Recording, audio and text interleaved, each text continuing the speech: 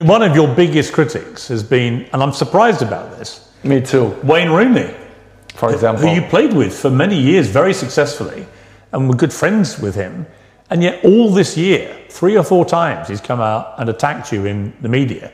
Piers, I don't understand.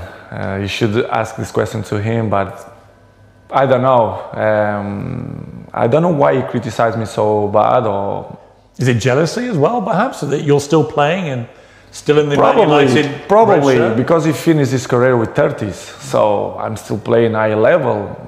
I'm not gonna say that I'm looking better than him, which is is, is true, but but it's, That is inarguable. I mean, there's no contest. it's, it's hard to listen that kind of criticize and negative about people who we play with you. For example, Gary Neville as well.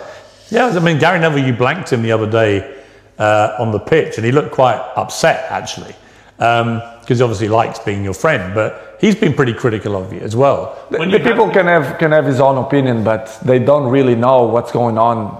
For example, inside the, the, the training ground and Carrington area, or even my life, they should listen not only one point of view. They have to listen my point of view as well, because it's easy to to criticize, but if you don't know the old story, it's it's it's easy, you know.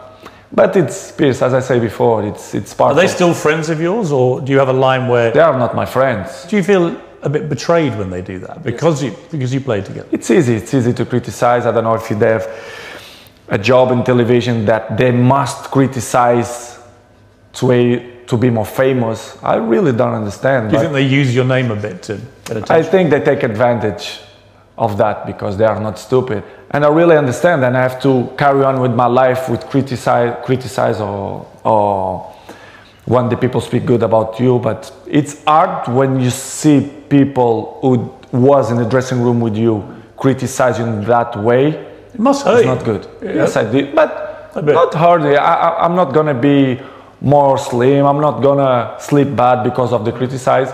But it's not good to listen that. Disappointing. A little bit, yes, disappointing.